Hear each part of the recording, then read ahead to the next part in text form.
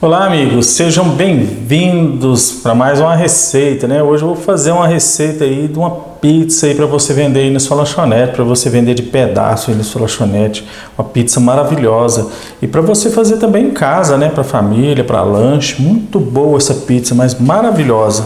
Vamos lá então, a receita. Vamos precisar aqui de umas duas colheres de margarina. Se você preferir, você pode usar manteiga, se você não gostar de margarina, né? Vamos ligar aqui o fogão. Vamos colocar um pouquinho de tempero, tempero completo aí. Não pôr muito não, porque a margarina já tem o sal. Então vamos pôr só um pouquinho. Vamos precisar de uma cabeça de cebola, uma cabeça de cebola bem picadinha, bem fininha. Esse aqui que a gente está fazendo é o creme. Vamos preparar primeiro esse creme que a gente vai usar aí na, na nossa pizza ou torta de frango, né? Do jeito que você achar melhor. Vamos aqui fritar um pouquinho até começar a dourar. E nossa cebola já está começando a dourar.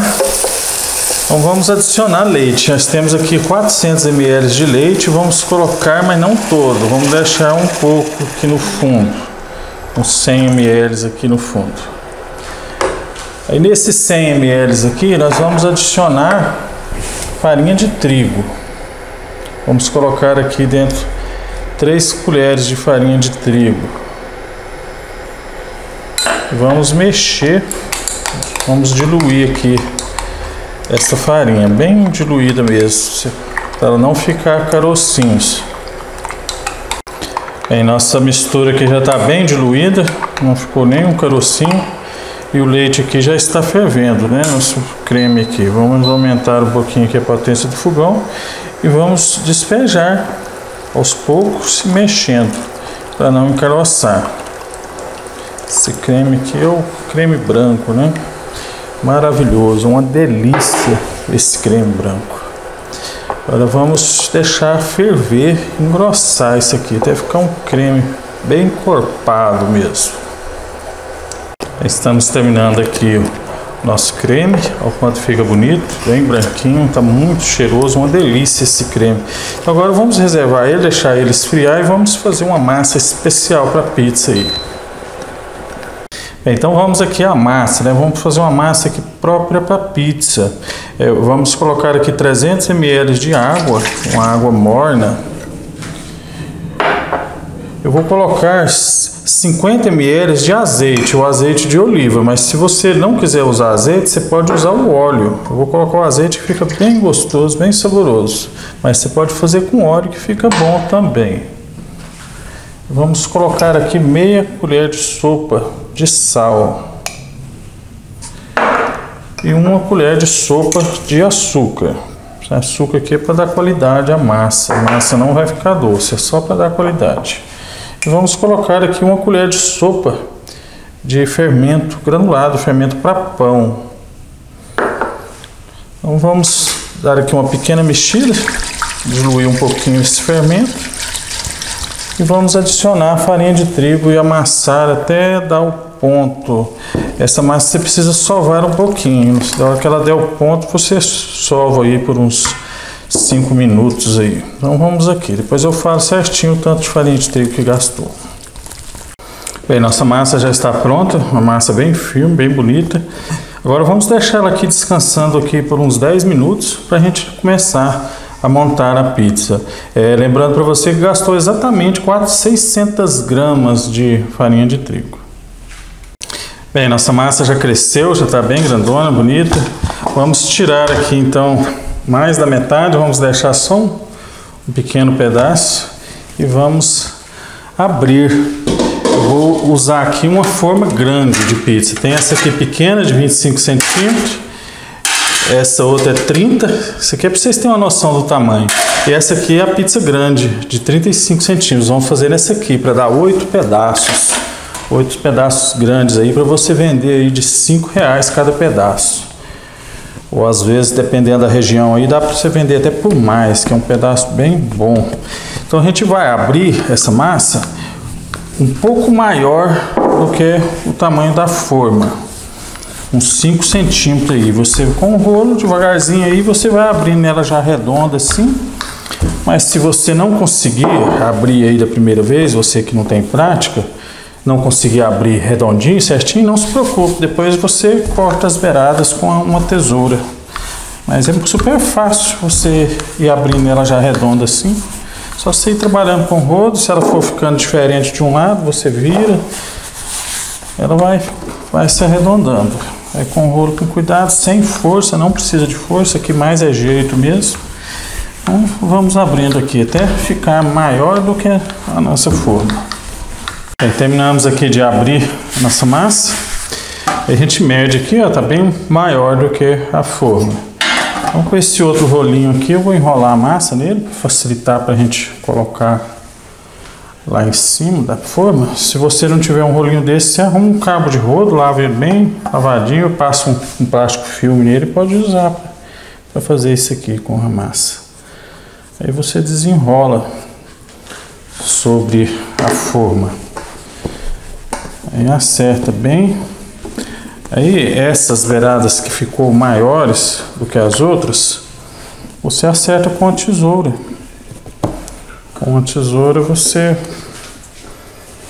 vai cortando para ficar aí mais ou menos igual. Eu vou cortar todo aqui. Bem, nossa massa aqui já está pronta, já acertei bem aqui as beiradas aqui. Vamos então colocar o nosso creme branco. Ele já esfriou já, endureceu um pouquinho, tá ótimo aqui para a gente trabalhar.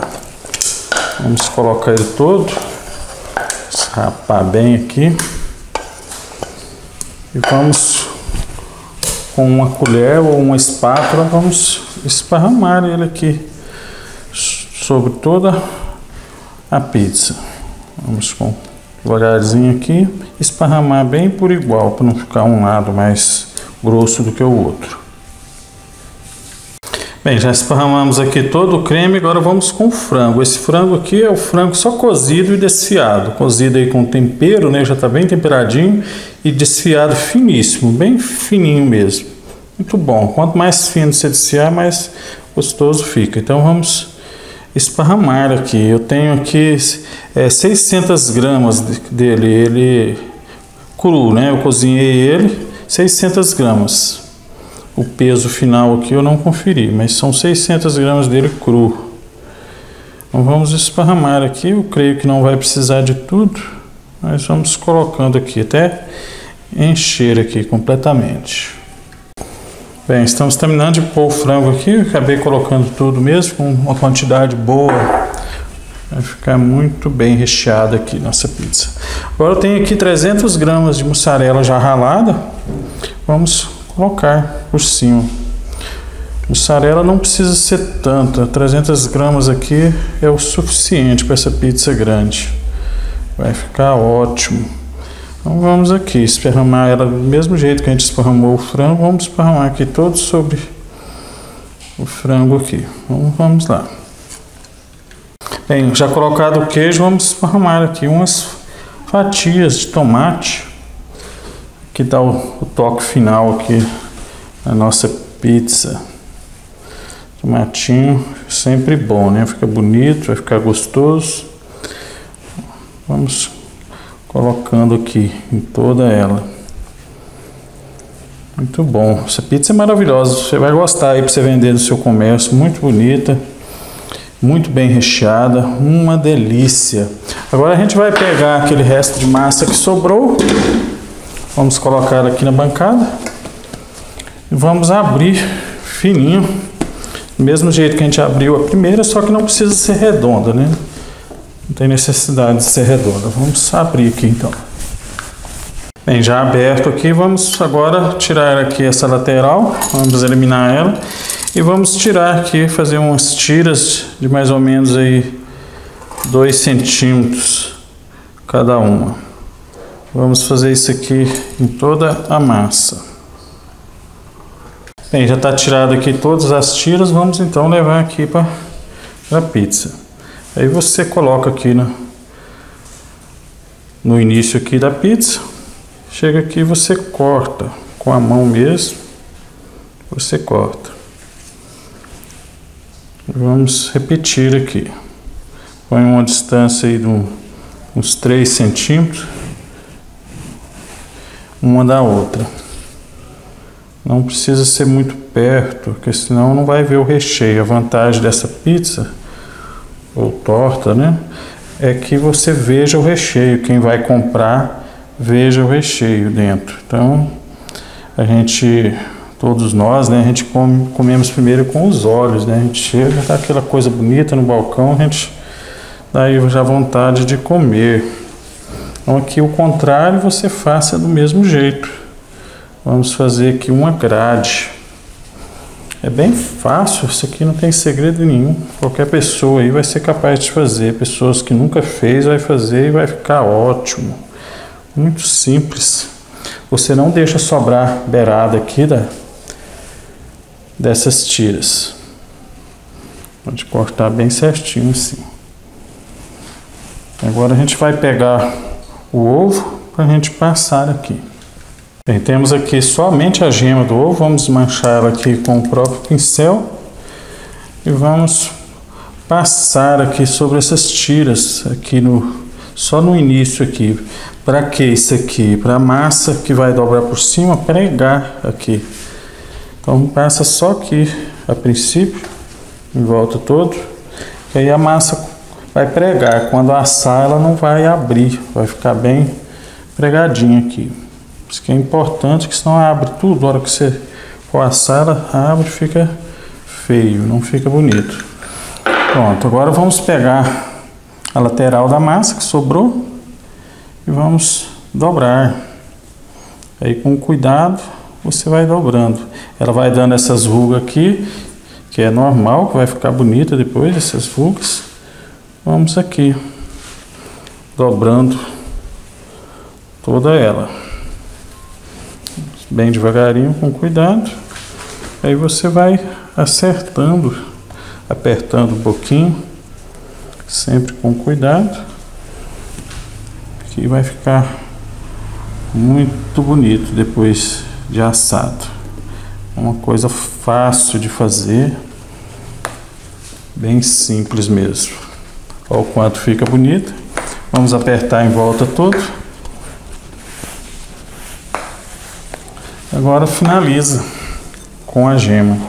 Passa bastante gema, principalmente aqui onde termina aqui para pregar bem essa outra massa. Vamos passar aqui sobre toda ela, passar aqui também na, na grade em cima. Vamos lá. Bem, nossa pizza está pronta, olha o quanto ficou bonita maravilhosa. Agora vamos levar para o forno. Você não precisa deixar ela descansar. Terminou direto para o forno. Meu forno aqui já está pré-aquecido.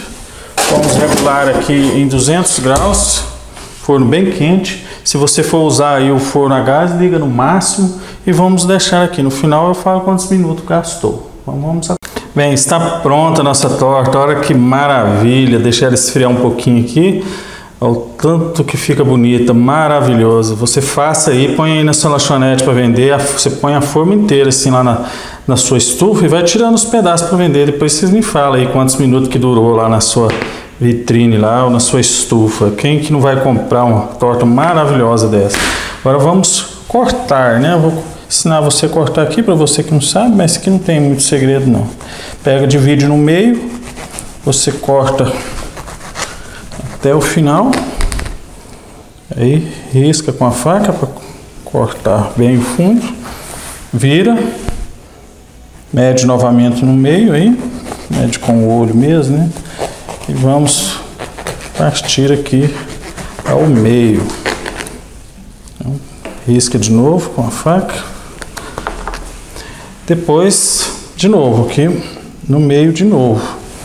Você vira novamente e vamos no meio que vai dar oito pedaços grandes aí, pedação bom para vender ou para você fazer aí na sua casa, né, para sua família, aí vira o contrário, o último pedaço que está faltando, parte no meio novamente.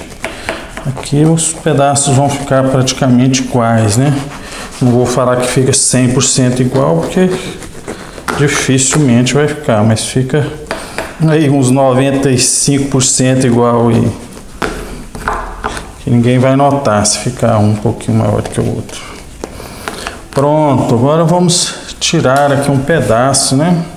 Pegar aqui uma espátula, vamos colocar aqui por baixo e tirar. Olha que maravilha!